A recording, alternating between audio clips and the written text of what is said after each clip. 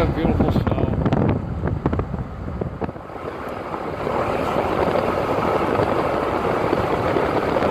Yeah, I think we got about five centimeters last night. I think covered everything pretty good.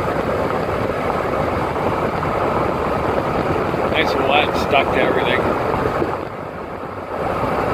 Alright, YouTube. Like, comment, subscribe, share. Hey, just stop by and say hello. Don't forget about my uh, thousand subscriber mark I'm looking to have. Take a look at the video with the Mac Tool Jacket for more information. Dan 11.